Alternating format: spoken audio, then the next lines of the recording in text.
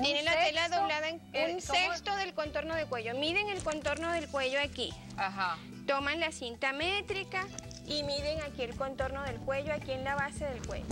Ahí les da la medida. Ajá. Esa medida la dividen en 6, agarran su calculadora y dividen en 6. Y esa medida, por ejemplo, tengo 36 de cuello, entre 6 me da 6, 6 por 6, 36. Ajá. 6 centímetros más 5 son 11. Entonces voy a marcar aquí 11, 11, 11, 11 y con la tijera Vas a cortar allí. Ajá, marcan con una tiza de sastre, marcan y luego cortan. Después que cortaron, abren y tienen ese poncho. Tienen los cuatro picos. Vamos a hacerlo un segundito para que lo puedan Perfecto. Ay, Dios. Vamos a doblar. Tenemos la tela doblada en dos. ¿Y ya después de eso está listo? Ya lo que hace es... Lo que hace es el ruedito, que ya se lo voy a explicar El ruedito y listo. ¿Y hoy vamos a coser aquí? No, una puntica nada más, que es para que vean el ruedo. Ajá. Mido los 11 centímetros. Imagínense que esto ya está medido aquí. Marco aquí. 11 11, 11 y 11. Y cortan. ¿Se aprecia? Anda, negrita. Hay una compañera aquí de venezolana de televisión que me está enseñando un vaso con un guayoyo así calientico, bien sabroso. Yo le digo que venga y que me lo dé. Me dice, ay no, Diana, me da pena. Me da mucha pena. Ahí tienen después que está el, el corte. ¿Ok? Hicieron el corte y ahora lo que tenemos que hacer es el orillito por todo este orillo de acá. Quitan el pie de la máquina. el orillito, ¿ves? Vamos a ver aquí el detalle. Ya se cortó la tela, justo como lo explicó Elizabeth de Abreu. Estamos haciendo el poncho, recuerden, dos por una. Y ahora, miren cómo quedó. Retiran este pie de la máquina, el que trae la máquina, y colocan el otro pie de máquina. ¿Cuál es el que van a colocar, Elizabeth? El pie dobladillador. Dobladillador dobladillador. Dobladillador. Normalmente lo trae la máquina, si no lo trae lo compran en donde compran repuestos para máquina. ¿Sí? En los distribuidores y ellos tienen ahí el pie, no es costoso. Lo importante del dobladillador es que ustedes primero tienen que introducir la tela y hacerla pasar hasta atrás. Mira, Fe. La devuelven. Mira aquí cómo vamos a, introducir la tela ya para hacer el dobladillo, la tela en el pie y él hace el, el ruedito, ¿ok?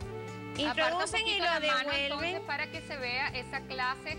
Aquí tenemos máquina en mano. Mira cuántas cooperativas están ahora eh, trabajando en todo lo que es corte y costura y que esta clase les sirve de tanto. Y todo lo que venden, este... Claro, se ponen a vender la y máquina. su propia este, fábrica de ropa. Esa es la idea. Introducen y lo llevan hacia el orillo. Lo jalan aquí. Lo importante es que cuando van cosiendo, vamos a buscar el pedal de la. Si quieren le doy al pedal. Lo importante es poner la máquina en un zigzag menudito. Lo importante es que cuando vayan cosiendo sujeten esta tela hacia acá, porque la máquina tiende a tirarla hacia allá, hacia la derecha, y se sale de aquí del pie. Tienen que, el truco es sujetar esta tela y llevarla con los dedos hacia acá. De manera que la máquina, que la tela no se salga del dobladillador. Cosiendo, cosiendo, mucha tela que cortar y mucho hilo para coser tenemos aquí en nuestra mañana. En Maracay, en Caracas, cursos y en San Felipe, cursos de corte y costura con Elizabeth de Abreu. Infórmese a través del 0254 231-6473 y en San Felipe también está a su disposición a través del 0254 231-6473. Les hice un pedacito para que se den cuenta. Él el pie del dobladillador hace este efecto. Él enrolla la tela así dos veces. Y con el zigzag o con la costura recta, pues lo va sujetando. La azul la hice con costura recta. Si no tienen práctica, es mejor que lo hagan con el zigzag por si se les tuerce un poquito la mano. No se nota. No se, no, y, el zigzag lo sujeta. No se les sale el orillo de la tela. Qué bueno, Elisa. De esa manera hacen el orillo por todo alrededor y el orillo por el escote. Y ya la tienes lista. ¿Y aquella, esa que tienes allá, cómo la lograste ese escote? Esto puede ser con un, es, el escote de ojal. Cuando está en pico es un escote de ojal. La voy a bajar un momentico para que la Bájala y explícale un poco, porque entonces también es otro modelo. Ajá. Ella es un escote de ojal con el pico hacia adelante. ¿Ok? Si quieren los picos laterales, lo que hacen es, pues, la van llevando de lado y les van quedando los picos a los lados.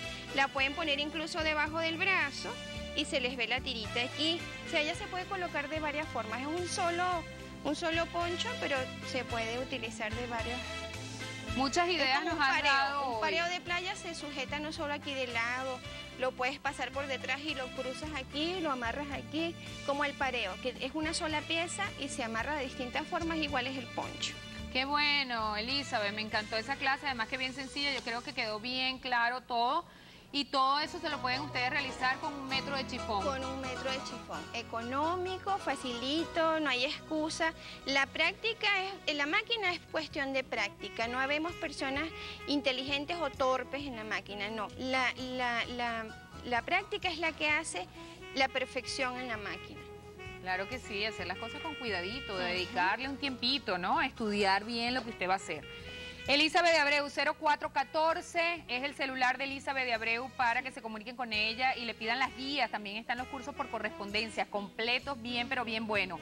546-2473, 0414. Gracias, Elizabeth. Gracias a ustedes.